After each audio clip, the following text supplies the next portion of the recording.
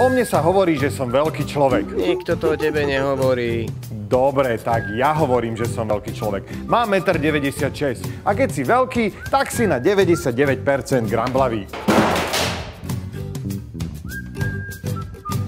Preto mám svoje notebooky rád tak, ako svoje ženy. Také, čo so mnou vydržia.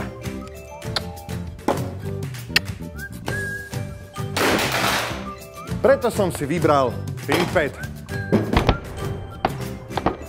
Je to jeden z najodolnejších počítačov na trhu a vydrží takmer všetko. Takže ak napríklad prídete do práce a začnete pracovať, alebo teda čo v práci tak bežne robievate, môže sa stať napríklad toto.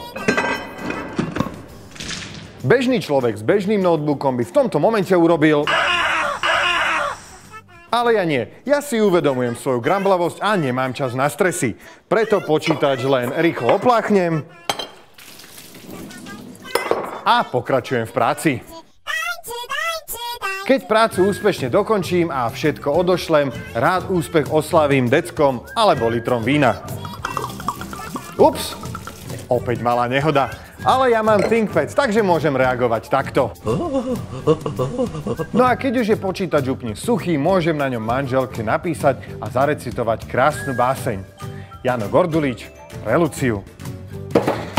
Do p***, ja už to fakt serem, ja som prie... Ja som fakt ramblavý, ja sa na to môžem...